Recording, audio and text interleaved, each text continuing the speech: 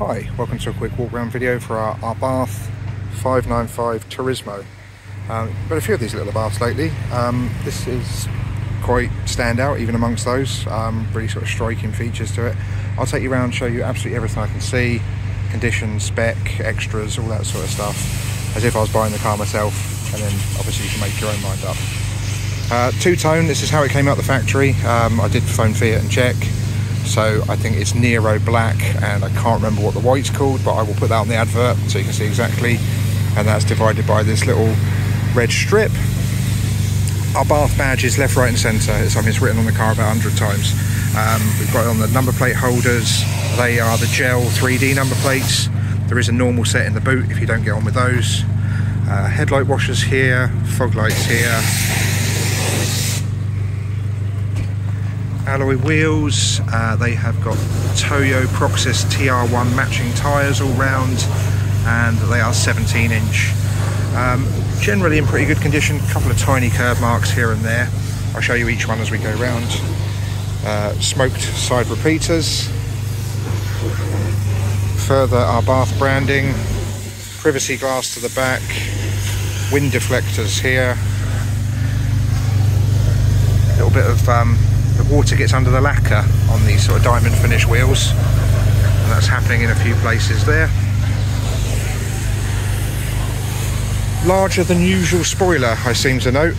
Um, also the exhaust is much louder. This is not my area of expertise. Elaborazione um, I had a look. There was like a performance pack that you could buy. Whether it's got the whole lot or whether it's just the exhaust I don't know. But it's um, this is an Abarth uh, 595 Turismo. The exhaust note is massively different here to here. This is much more aggressive sounding. Rear parking sensors. Again, the gel number plates with the Abarth holders. More Abarth badging. The little parcel shelf of sorts has Turismo stitched into it. There's those original plates that I mentioned. Got your inflation kit and some tools just under there. The locking wheel nut is present, that's um, in the front, I'll show you that when we get there. A couple of small areas there which I'm going to touch in. Smoked rear lights. That wheel's probably the worst affected by the lacquer peel and there's actually a chip to the grey part just there.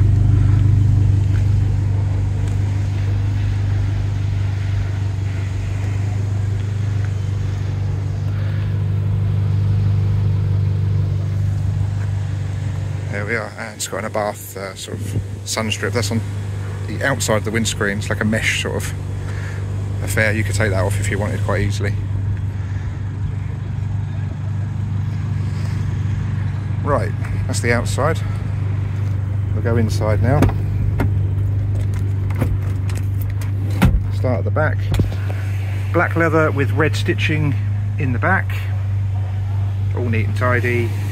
Mats all present cup holders there.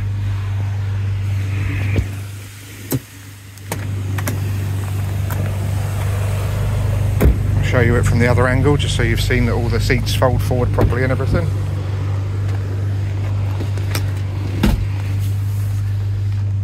Here's only a four-seater, no room for a middle passenger in the back. All black headlining and it's got little uh, suit hooks just up there on both sides. Okay, segues us nicely into the front. Uh, in the front it's two-tone, red and black. Little scratch just to that uh, door card plastic there. Owner's manual, fitting in with the colour scheme in red. Uh, the full lot is there, I believe. I've included a picture of that, will spread out so you can see exactly what's there, but I think it's everything. Got these kind of carbon effect uh, Abarth 595 Turismo kick plates. These very fancy looking mats with yet again more Abarth branding here. Uh, front seats, right, yeah. So predominantly red with black and like a silver stitching stripe through there. Airbags built in. Airbags over here. 500 badging there. There is the locking wheel nuts that I was talking about. And let's head round to the driver's side and finish off over there.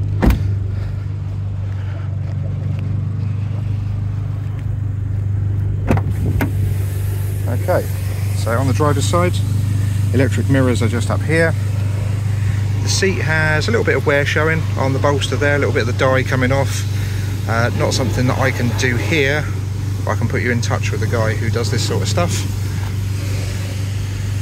But overall, that is not too bad for the age of the car. Abarth branded pedals, just in case you forgot it was an Abarth. Then inside we have two keys, one solid, one remote sort of flip out blipper one. Um, windscreen wipers, lights and indicators, and matching flat bottomed steering wheel, phone controls, audio controls, split amongst the two sides. There's the miles, 83,238. You've probably noticed it's flashing. Uh, flashing indicates a fault in the electrical system somewhere. I've had it diagnosed this week. It is the Bluetooth module. So I'm sending that away for repair because the new one is for some reason extremely expensive, even though it's just a Bluetooth module. Um, so as and when that comes back, then this mileage won't be flashing anymore.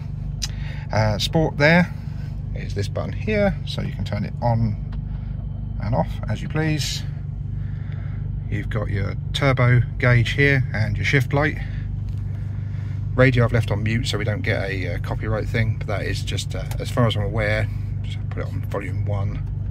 Yeah, just FM and AM, no DAB on there. And you've got a single slot CD as well. Sport button that I just showed you, hazard lights and fog lights. Uh, your aircon controls are there. Traction control, heated rear screen, windows, nice really solid alloy gear knob, five speed these. Uh, there's a little storage area just there. Cup holders, auxiliary, USB, 12 volt point, and a leather wrapped handbrake lever. Uh, you've got side airbag up there, vanity mirrors here, interior lighting here, and a little power button on there, so I assume that is a auto dimming rear view mirror.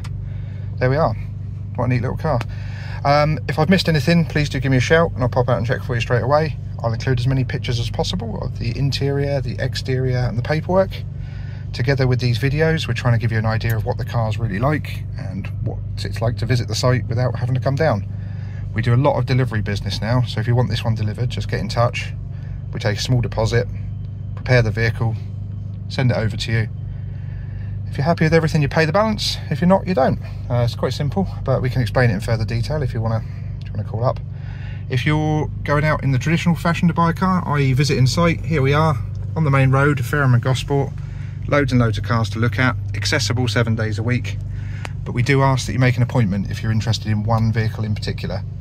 Um, we're a small two-man team, quite often one of us here at a time, and we can be out and about, test drives, picking up cars, that sort of stuff. So I'd hate for you to waste a journey coming down to look at a particular vehicle and we're not here. So yeah, please, please do phone ahead if you've got serious interest in one of the vehicles. Okay, thank you very much for watching.